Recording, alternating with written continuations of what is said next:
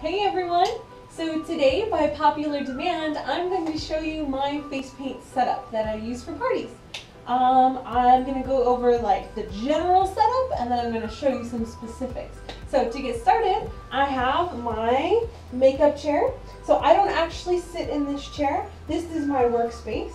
I have my back to the parents usually, so that way they can see their kid getting painted, and that way they spend less time a lot of the times like in the chair after they're done getting their pictures taken. They can just take it as they go. That seems to work out pretty good. Um, I also do for certain events that are usually longer than um, a couple hours. I'll do two chairs instead, and I'll just move the table, which is great because I have this folding table that I got at uh, Walmart, or you can get them at Target um, it's got three notches on the bottom. It's about two and a half, three feet uh, long and just a little bit wide. I know some people like to use big four foot tables and that's okay too. They just take longer to close up and set up and they're also heavy. So I like this one because it's light. I can take everything in one trip without a dolly. Um, I also have this fantastic thing that I'm really excited about because I just made it. So this is my brand new face paint board. I used to have one that folded in half. I made it myself. It folded in half and I could carry it and it had this kind of complicated mechanism at the back, but it was looking a little shabby. So I updated it by getting this uh, giant frame from Michaels on sale and I put all my pictures inside of it and then on the back I constructed it. I took a single hinge from Home Depot and I got this board, I spray painted it black, and I attached the hinge so that way you can make it like a sandwich board. It can open and close. I attached this string so that it doesn't open too wide. And then I also added feet so that it doesn't stand in the mud in case it's dirt at the party. And also a piece of Velcro so that way this doesn't flop around when I'm carrying it on my handy dandy handle. This way you can go hands free and carry more things. So I really like my new board. I'm excited to use it this week. Alright. Also, the one thing that I can recommend to you that nobody else has probably recommended to you yet, and I haven't mentioned in my other videos, but you want to take a balloon bag. That's right. You need to learn balloon twisting too if you're going to be a face painter because you can double your income if you know how to do balloon, simple balloon animals or complicated balloon animals, even better. But I have just a small bag that's got all of the necessary colors. I know a lot of designs because I've been doing it for a while, but if you know 10, 20 designs, you can seriously double your income because people will book you for twice as long if you can do an hour of face paint and an hour of balloons. It's super popular and I wish more face painters knew how to do balloons because I would book them all the time. So let's get a closer look at my actual paint this time. so what you're looking at now is my face painting setup from the perspective of the chair right next to it.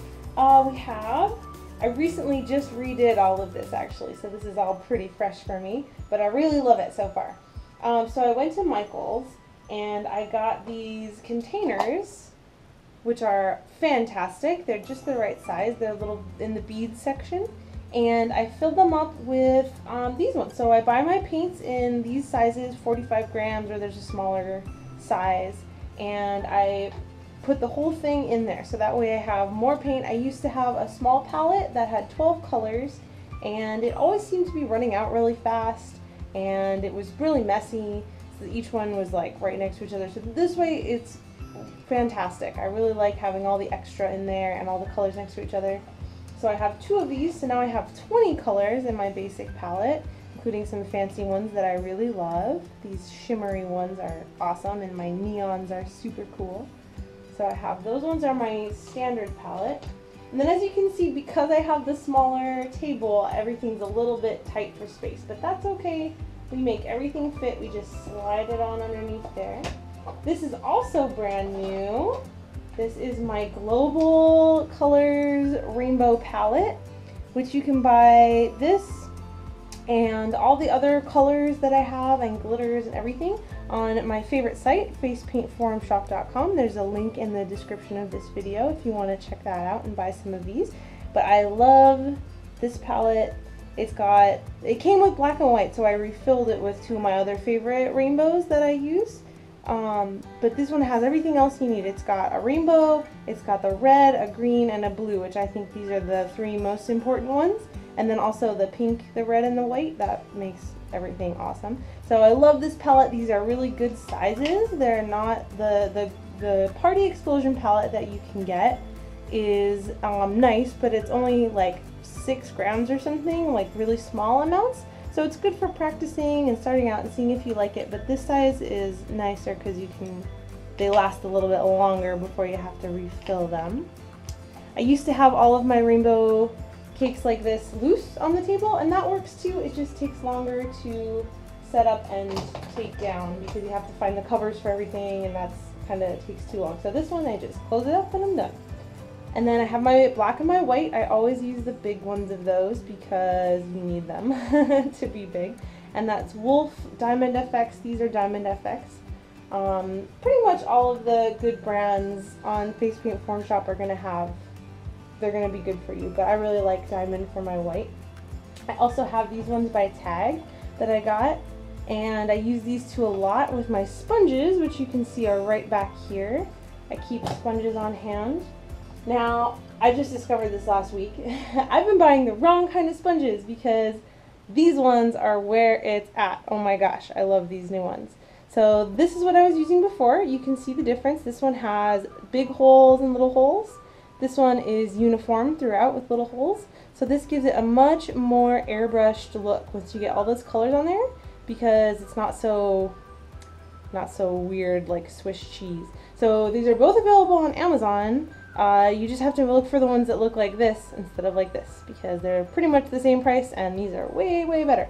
So I've been using these. You just cut them into quarters or however big of a size you think you want. And that way you can, like I have one cut here, you can, that one doesn't quite fit all of them, so maybe something a little bigger for one of these cakes, but you know, it's all good. I also take these ones and I'll dip them half in one color over here and half in the other. So that way you get a nice duo blend on there. If you want to mix two or three colors just manually, you don't need these big ones for every single color. Um, let's see, we've got our spray thingy, just super cheap little water spritzer. This is full of water. Um, I have two water cups. One of them I use to hold my brushes, one of them's for my water, and they're both contained in this caddy, which you can get at any store like Target. Um, I keep my sponges in the back and my mirrors in there. I try to use a sturdy mirror. This one has been around the block, as you can tell.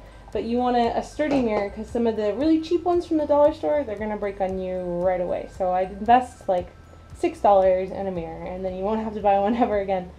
Um, your hand sanitizer is always good to have around just to show that you're nice and clean and all that. And I use it pretty often uh, when you have anybody who's like sniffling or anything and you're not so sure, you can use your hand sanitizer. Um, then there's baby wipes, Huggies, or a thicker brand. The, the, the really cheap dollar store ones will, will work, but they definitely don't work as good as something that's a little bit thicker and nicer. uh, we also have our glitter. I use mostly my floofers because these are the fastest way to do it. So you just, when you do a full face design, you just evenly distribute the glitter on top of it. But there's also a method that I've started using, uh, the finger dab method. So if you need to be a little bit more specific with where you put your colors of your glitter, I keep them in this little container. I get my finger a little bit wet and then I just dab it in there and then you can tap the color on individual places. So I can make Hello Kitty's bow pink and the rest of it I can make white and you know just keeps it kind of separated and nice and that can add a lot of impact to your designs there. Um, otherwise I just use paper towel underneath here so that way in case I need to dab off my brush or my sponge I have a little bit of space for it or I can move it over a little bit. Helps keep my tablecloth clean as well which I made myself just with some extra fabric from Joann's. Um, yeah, that's pretty much this setup right here. My brushes, I do have a lot of them. I like to keep my favorite brushes that I know I'm going to use right away. I like to just leave those out. And then the rest of them as I go, you know, fill them up. I have a lot of one inches because I have a lot of rainbow cakes. I actually have more than this. This is my consolidated pile. I do have another box full of them in my tote container, which I will show you right now. But first, I'm going to show you this extra picture from the front of my setup and a couple of other setups that I've had in the past. So, uh, this is what you were just looking at before, from my perspective. This setup that you're looking at is what I had previously. This was for a really big event that I did um, face painting for a big special event, so I had a lot more room on a big giant table. So this is how I would set it up if I had plenty of room. Um, you can see there's a little fiver sticking out of there, and that is a really great idea. That's uh, we call it seed money. So when you start off uh, at a big event where you're able to accept tips, make sure that the client can see like a little hint of a tip there so that they know that it's okay to tip. Um, some people leave out a jar. I like to be a little bit more subtle and just do something like that. Seems to work great. That palette that you see there, uh, I refilled some of the colors in it, but that was a Diamond FX, um, Wolfe also sells a brand, of 12 color palette, and that is really awesome. I definitely recommend that for starting out. It's perfect size. It's awesome. Alright, and this is pretty much the only things that you need to get started. This, I bought this kit for a friend who was starting out. I wanted to really encourage her. So all this whole thing is around maybe $100, maybe $150, probably less than that though. You just need your Diamond FX 12 color palette that I was just talking about. This is a small Party Explosion rainbow uh, palette. They're small colors, but it's a really great uh, starting palette for practicing with that. The brush selection, you have um, some one inch flat brushes, some three quarters inch, a couple filberts, and a few liner brushes, as well as your Diamond FX Wolfe black and white, and rainbow cake, a sponge, uh, you need your floofer glitter, your baby wipes, and a spritzer bottle for your sponge. This is the best starting setup that you can get. I really recommend it. Alright, finally we have our tote bag, which I love. This is my awesome tote bag. It's so nice. Um, where I use this one all the time because it's got handle, which is great, and it's got wheels, so I don't have to heft this thing around with all my heavy paints in it. It's actually, I bought it at Michael's. It was $40 with a coupon, and it's actually for scrapbooking, so you can find it in the scrapbooking section. Uh, I love it because it's got all this space on the inside see that. Yeah, so I put my paper towels in here, extra paper towels. You always want to bring water with you so that you have um, enough just in case you're at a park. You want to make sure that you have everything that you need and you don't need to bother the client for anything. You want to bring your own table, your own chairs, and your own water for sure. There's spare business cards in there, extra Huggies baby wipes. This is my container that I keep my paints and glitters in so they can just slide in there and they don't take up as much space. These are, like I was saying, my extra rainbow cakes for when I need them. I've got refills and different colors, and we'll see which ones I like the best and which ones get replaced from that new palette. Um, we've got this one right here is for my brushes. I keep my brushes in there. I got it from the container store. But anything will work as long as your brush bristle, bristles are protected. If they get mashed around, they are not going to work for you. So this one I always make sure to keep the bristles upright or angled upright and it's been good for years so I haven't had a problem with it uh, breaking my brushes. I like that one. And then also I have my headlamp here which is a good recommendation for you guys. Just like I said, you want to bring everything you need. So I've had parties that go late at night and they don't have a lamp or any other kind of light set up. So if you want to be able to see what you're doing while you're painting, I recommend keeping one of these nice headlamps around. It's only about $15 from a sporting goods store. And speaking of sporting goods stores, I also I don't have it here with me right now, but you can get an umbrella at like a Big Five. It's called a Wonder Shade umbrella. It's about $35 and it's got its own stand. So it's really nice in case you need some extra shade. If they don't have an umbrella or some shade for you, you can just pop up your little personal umbrella. It's got a handle and carrying bag. I love it. The Wonder Shade umbrella from Big Five is awesome. I also keep in here gemstones and extra like makeup and glitter and things like that. Uh, this is a StarBlend that I use sometimes for, it's instead of a a water-based paint. It's actually a powder, like an eyeshadow, and it's really good coverage. I use a makeup, dry makeup brush, and you get really good black coverage on that for like around the eyes if you have somebody who is not having the sponge around their eyes or if you want to make a smoother color around there you can use a StarBlend also available on face paint forum shop I've just got some extra eyeshadows and lipsticks and glitters and pencils and things like that I pretty much use that once a year around Halloween when I'm doing some fancy sugar skulls but I don't use it that often otherwise because my paints do pretty much everything for me. I if you get that close. Oh well. I also keep some gemstones and glitter, uh, sequins and things, which you put on with eyelash glue. But I don't really use those for parties unless they specifically ask for gemstones because um, it takes a little bit too long. I also keep spare sponges. I keep um, a spare black and white in case you run out. You want to also have a scissors for your sponges so that way you can cut them or have them pre-cut. And you know what? Another good suggestion is bring a snack because sometimes you don't have time to eat in between, so you're going to want to have a snack.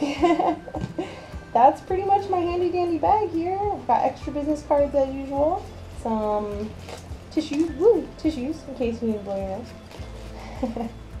All the necessities that I have learned from many years of face painting.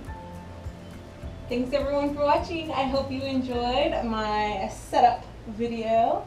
Um, remember everything that you, well most of the things that you see here, you can buy on facepaintforumshop.com which I have a link to right underneath my video. So I'm not like trying to plug an advertisement or anything, that's genuinely where I buy most of my supplies along with jestpaint.com, jest like jester, or sillyfarm.com. That's another one where you can get some really great colors. Um, so yeah, I hope you enjoyed this video. Like, comment, and subscribe if you want to see more, and I would love to see your setups too, or if you have any other questions about good methods for doing things. So uh, make sure to let me know, and I'll see you next time.